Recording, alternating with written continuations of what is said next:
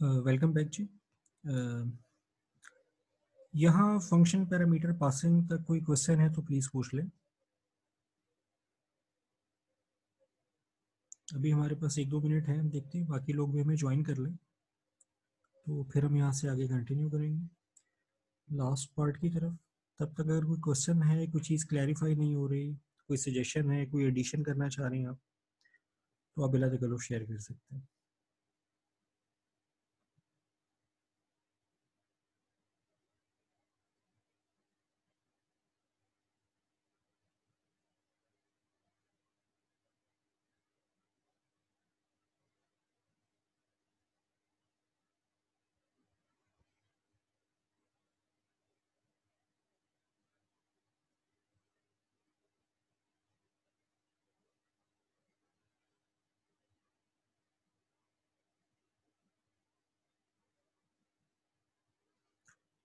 Okay fine जी continue करते हैं आगे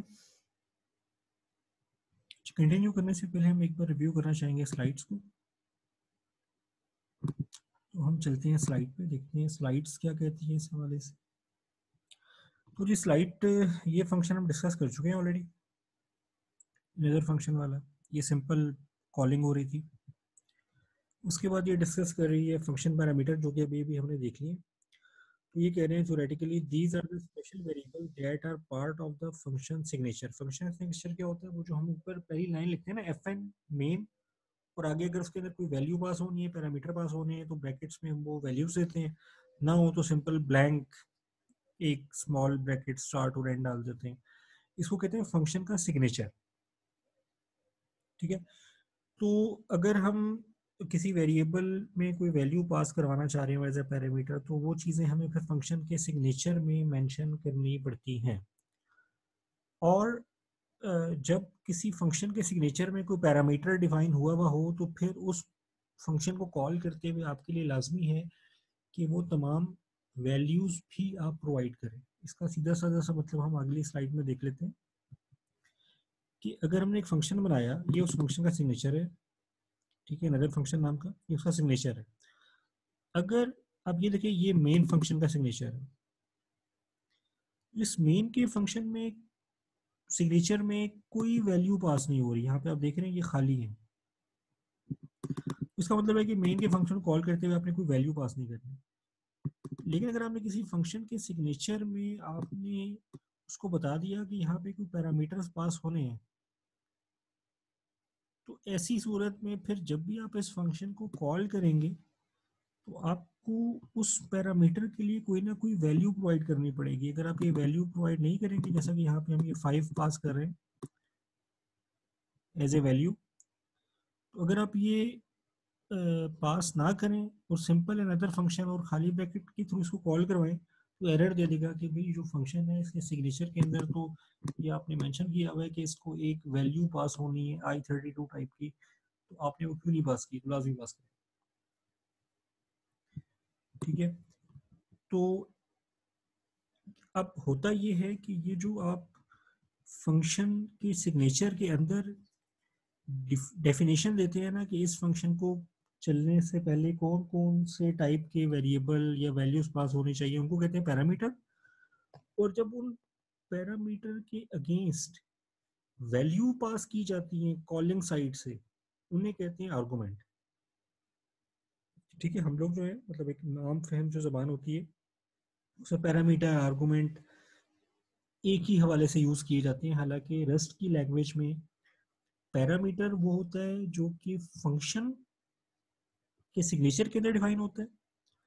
और जब उस फ़ंक्शन को कॉल करते हुए उसको कोई वैल्यू पास करते हैं तो उनको आर्गूमेंट कहा जाता है। ये दोनों में फ़र्क है आर्गूमेंट में और पैरामीटर में। कि आर्गूमेंट होती है, वो कॉलिंग साइड से जब वैल्यू पास होती है फ़ंक्शन को कॉल करते हुए, उन वैल्यूज़ को आर्गूमेंट कहा जाता है और जो फ़ंक्शन सिग्नेचर में जो डेफिनेशन हुई होती है कि इस फ़ंक्शन को चलने के लिए कौन कौन से टाइप के वेरिएबल चाहिए, उनको हम पैरामीटर कहते हैं। तो ये देखें एग्ज़ाम्पल दी हुई है। एक अनदर फ़ंक्शन है, जिसका सिग्नेचर कहता है कि इसको एक पैरामीटर चाहिए, जिसका नाम होगा x और उसकी टाइप होगी I thirty two integer thirty two और जब ये फ़ंक्शन चले तो प्रिंट एलन करें प्रिंट करें, क्या करें? The value of X is और इस एक्स को प्रिंट कर दें। ठीक है? जब हम इस फ़ंक्शन को मेन से कॉल करेंगे तो हम इसका नाम लिखेंगे इस फ़ंक्शन का। और फिर फाइव एज ए आर्गूमेंट भिजवा देंगे इसको, ठीक है? अब क्या होगा कि जब ये फ़ंक्शन चलेगा, ये प्रोग्राम चलेगा तो ये अनदर फ़ंक्शन को कॉल करेगा और फाइव एज ए आर्गूमेंट इस फ़ंक्शन को भिजवाएगा। तो फाइव जो है, वो आके यहाँ एक्स के अंदर सेव हो जाएगा। और फिर वो एक्स की वैल्यू प्रिंट हो जाएगी, ठीक है? ये थे आर्गूमेंट और पैरामीटर इसी तरह से फिर उन्होंने मजीद डिस्कस किया, पिछले प्रोग्राम में वो एक value as a argument pass हो रही थी और फ़ंक्शन भी जो है वो एक पैरामीटर एक्सेप्ट कर रहा था. यहाँ पे जो एग्ज़ाम्पल दी हुई है, ये फ़ंक्शन दो पैरामीटर एक्सेप्ट करता है. ये देखें, इसने एक्स और वाई दो सॉरी एक्स और वाई दो पैरामीटर्स जो है इसके सिग्नेचर में डिफाइंड है. और जब इसको कॉल किया गया तो वहाँ से भी इसको दो आर्गूमेंट फाइव और सिक्स की वैल्यूज़ जो है वो एज ए आर्गूमेंट इस फ़ंक्शन को कॉल करते हुए प्रोवाइड की गई ठीक है? तो ये था हमारा फ़ंक्शन उसकी पैरामीटर और यहाँ पे जो स्लाइड्स हैं, वो तो एंड हो जाती हैं, लेकिन मैंने आपसे बात की थी कि मैं आपको बताऊँगा कि हमने थोड़ा सा आगे जाके फ़ंक्शन से अगर वैल्यू वापस कॉलिंग फ़ंक्शन को पास करवानी हो तो उसका क्या तरीका कार होता है? ठीक है? अब हम वो चीज़ डिस्कस करने लगे हैं कि अगर फ़ंक्शन ने कोई वैल्यू रिटर्न भी करनी हो, जिसने जिस जहाँ से उस फ़ंक्शन कॉल किया गया है, उसको कोई वैल्यू वापस देनी हो तो उसका क्या तरीका कार होता है? तो अभी अगले आने वाले पंद्रह मिनट में तकरीबन इसको डिस्कस करके कोशिश करेंगे कि ग्यारह बजे हम जो इस सेशन को कंक्लूड कर दें। तो चलते हैं अपनी कोड विंडो की तरफ़।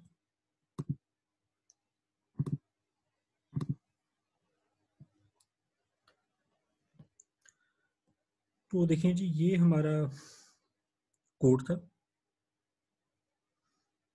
और ये करता ये था कि हम ऐड और सब्ट्रैक्ट नाम के हमने कुछ फ़ंक्शंस बनाए हुए थे और उनकी मदद से हम कुछ जो भी वैल्यूज़ थी ऐड या सब्ट्रैक्ट वाली, उनको हम प्रिंट करवा लेते थे। अभी तक जो प्रोग्राम है, ये वैल्यू प्रिंट कर रहा था। जो फ़ंक्शन हैं, ये वैल्यू को, जो भी इनको दो पैरामीटर पास किए जाते थे, उनको ये, उनके, उनको ऐड करके उनको सिर्फ़ प्रिंट करवा देते तो वैल्यूज़ कहीं स्टोर नहीं हो रही होती थी रिटर्न नहीं हो रही होती तो हम इस प्रोग्राम में थोड़ा सा चेंज लाते हैं। हम कहते हैं कि हम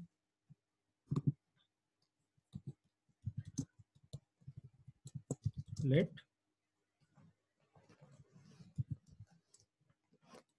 My add result.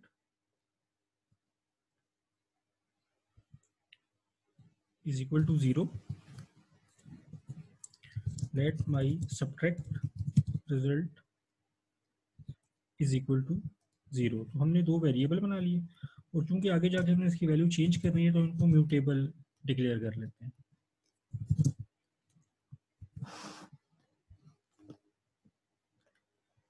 ठीक है, अब हम क्या कर रहे हैं कि हम पहले इस ऐड वाले फ़ंक्शन को वैल्यूज़ भिजवा दिया करते थे सिंपली अब हम चाह रहे हैं कि जो ऐड वाला फ़ंक्शन है, ये हमें कुछ रिटर्न भी करे। ऐड करके बजाय प्रिंट करने की, वो हमें रिटर्न कर दे। अगर किसी फ़ंक्शन ने कोई वैल्यू रिटर्न करनी हो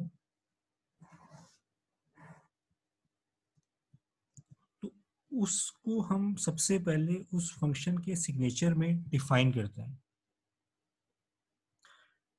डिफाइन करने का तरीका ये है कि अगर ये हमारा यही function I eight integer eight bit वाले टाइप की वैल्यू रिटर्न करना चाह रहा है तो यहाँ पे एक डैश और ग्रेटर देन साइन ये लगाएँगे और आगे वो टाइप मेंशन कर देंगे, जिस टाइप की वैल्यू इस फ़ंक्शन ने रिटर्न करनी है।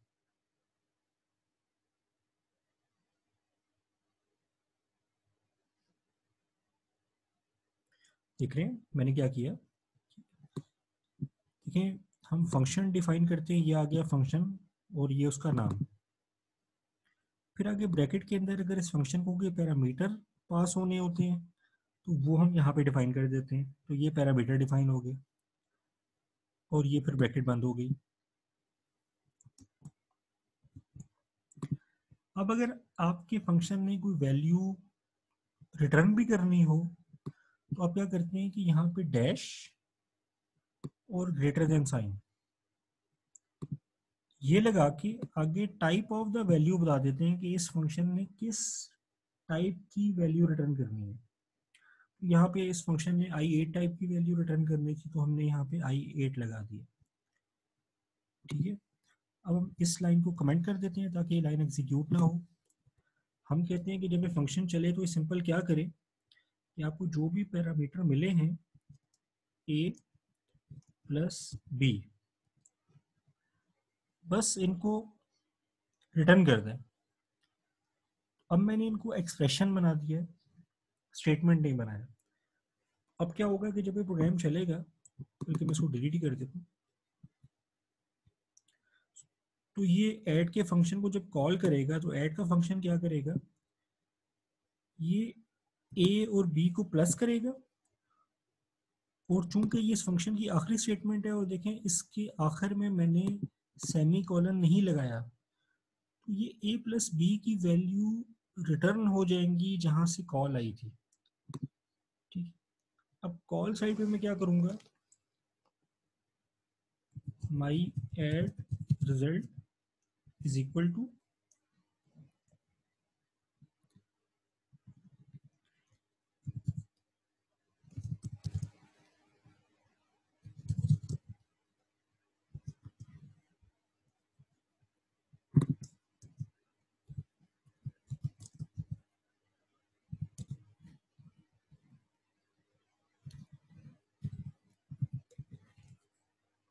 मैं आपको क्लियर करता हूँ रिकॉर्ड कर रहा हूँ।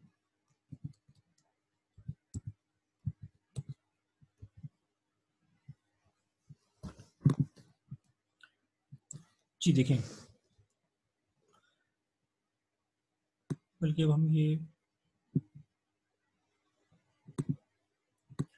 प्रिंटर वाले कोड को फ़िलहाल यहाँ से ख़त्म कर देते हैं ताकि आपके सामने विजिबिलिटी थोड़ी सी क्लियर हो सके।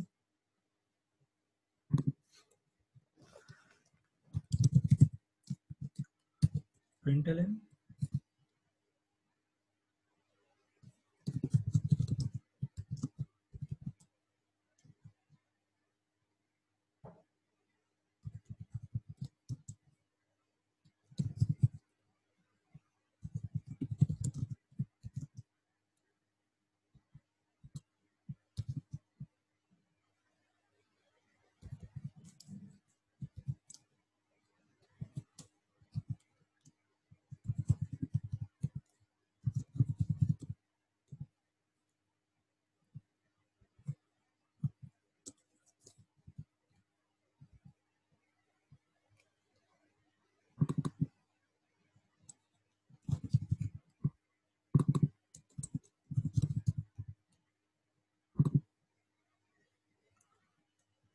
चना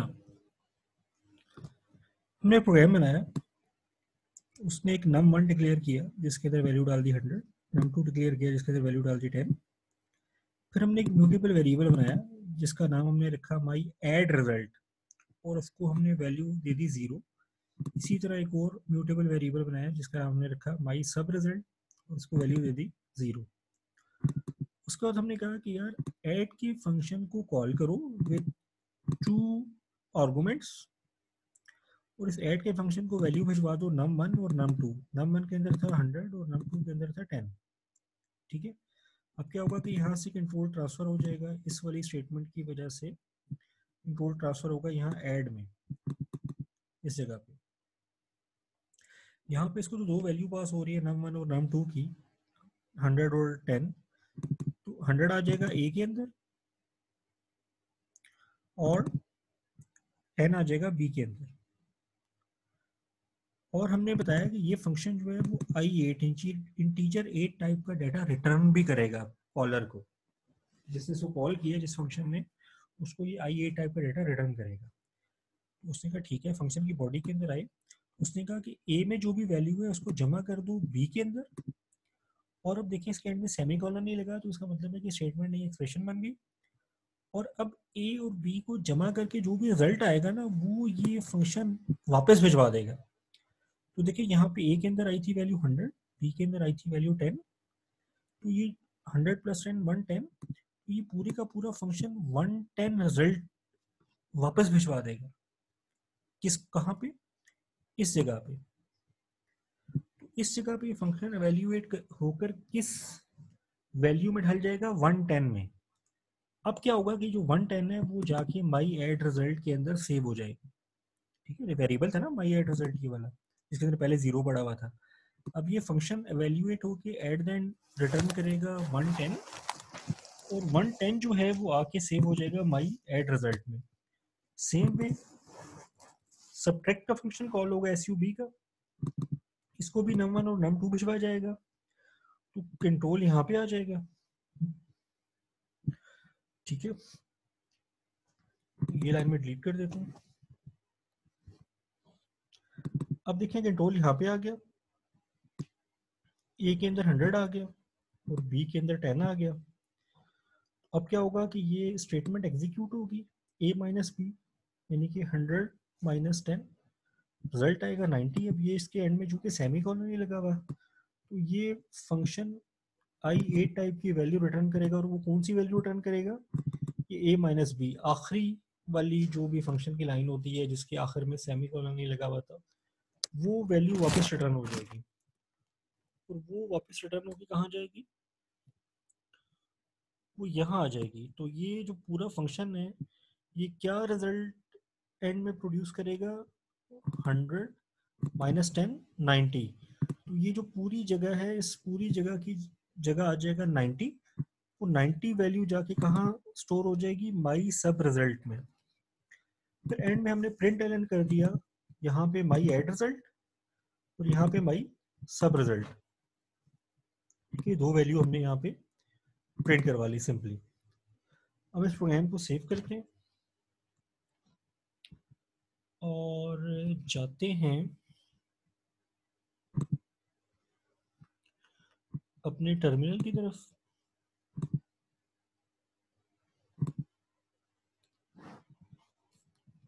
यहाँ करते हैं क्लियर कार्गो रन किया तो जनाब एक एरर आ गया।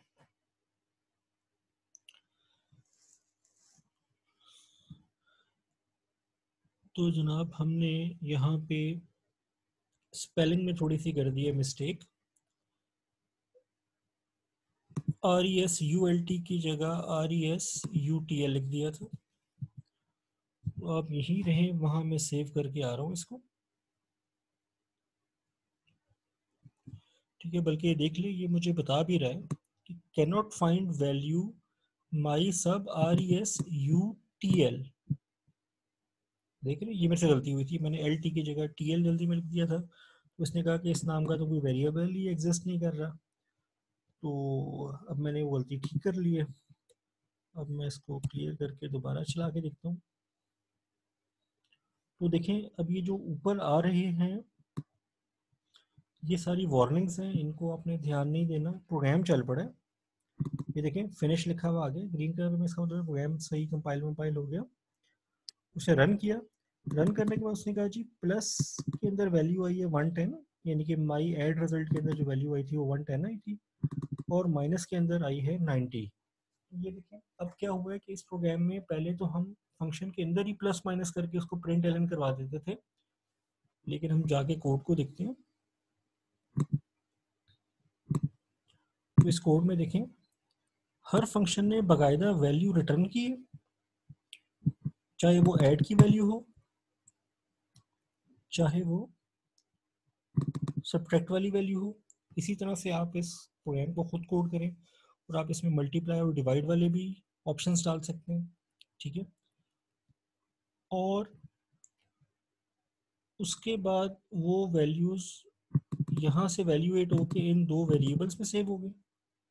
माई एड रिज़ल्ट और माई सब रिज़ल्ट और एट द एंड हमने उनको प्रिंट एलन करवा दिया कि प्लस का रिज़ल्ट ये आया प्लस ऑपरेशन का और माइनस ऑपरेशन का रिज़ल्ट ये आया। और उसके अकॉर्डिंगली हमने यहाँ पे वेरिएबल प्रिंट करवाया ठीक है? तो इस तरह से हमने एक सिंपल सा प्रोग्राम बनाया और उसमें हमने देखा कि वैल्यू हम फ़ंक्शन को एज ए पैरामीटर पास कैसे करते हैं? और फिर हमने एंड में भी ये भी देख लिया कि कोई फ़ंक्शन अपने कॉलर को जिस जगह से उसे कॉल किया जाता है, उसे अगर उसने कोई वैल्यू रिटर्न करनी हो तो वो रिटर्न कैसे करता है? ठीक है? तो अभी हम इवन जो हमारी असाइनमेंट की रिक्वायरमेंट है, उससे भी कुछ एक दो चीज़ें ज़्यादा डिस्कस कर चुके हैं, समझ चुके हैं। और साथ साथ हम चैप्टर नंबर थ्री भी जो बुक है रेस्ट की, उसका कंप्लीट कर चुके हैं।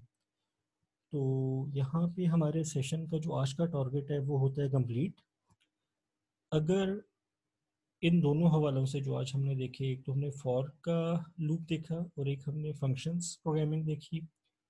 और फिर हमने फ़ंक्शन के अंदर तीन चीज़ें देखी कि सादे फ़ंक्शन फिर उसके बाद हमने फ़ंक्शंस को पैरामीटर पास करना सीखा, और आखिर में हमने ये देखा कि फ़ंक्शन से वैल्यू रिटर्न कैसे करवाते हैं।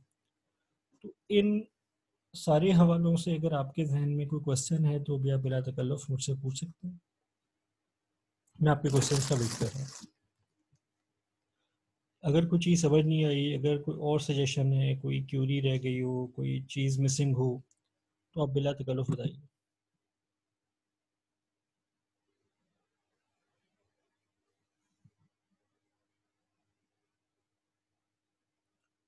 क्वेश्चन करने के लिए आपको आप एक बार अपने स्क्रीन पे क्लिक करें। तो आपकी स्क्रीन के नीचे वाले हिस्से में वो हमारा जो कंट्रोल है वो नमूदार हो जाएगा। उसके ऊपर आपका ऑडियो का एक माइक बना हुआ होगा, जिसके ऊपर सब कट लगा होगा। आप उस माइक के ऊपर एक बार क्लिक करेंगे तो आपका माइक्रोफोन ऑन हो जाएगा और फिर आप जो भी कहेंगे वो आवाज़ आपकी हम तक पहुँचना शुरू हो जाएगी। तो अगर कोई क्वेश्चन है तो प्लीज़ बता दीजिए अदरवाइज़ हम एक मिनट के बाद फिर सेशन एंड करेंगे। पूरे ग्यारह बजे, दस बज के फिफ्टी नाइन मिनट्स हो रहे हैं। और फिर इन ताला हम वेट करेंगे कि जब हमारा जो क्लास वाला सेशन है, जो क्लास वाले लेक्चर्स हैं वो कुछ मज़ीद आगे बढ़ेंगे तो हम अगले वीक में या उससे अगले वीक में फिर एक या दो सेशन इसी तरह से रख के जो कुछ हमने क्लास में कवर किया होगा, उसको मैं एक बार यहाँ बैठ के रिव्यू कर लेंगे। ठीक है तो अगर कोई क्वेश्चन नहीं है तो मेरे ख्याल में आपसे इजाज़त चाहता हूँ। बहुत बहुत शुक्रिया आपका मुझे ज्वाइन करने का। इन हमारी कोशिश यही है कि हम सब मिल के एक साथ एक दूसरे को ले के इस प्रोग्राम के एंड तक पहुँचें। तो आप सबका बहुत बहुत शुक्रिया। अपना ख्याल रखिएगा। अगर कोई फिर भी मज़ीद क्यूरीज रह गई हो तो आप ग्रुप के ऊपर क्यूरी कर सकते हैं, लेकिन ये ख्याल रखिएगा कि प्लीज़ असाइनमेंट्स के हवाले से कोई भी चीज़ उस तरह पूछने से गुरेज करें कि जिससे आपको कुछ हेल्प मिलती हो, यानी कि कोई डायरेक्ट किस्म की हेल्प है यार ये काम कैसे होगा, या इसका कोड शेयर करते हैं वगैरह वगैरह। चलिए जी, अपना ख्याल रखिएगा। बहुत बहुत शुक्रिया आप सबका। असल वरहमल वर्का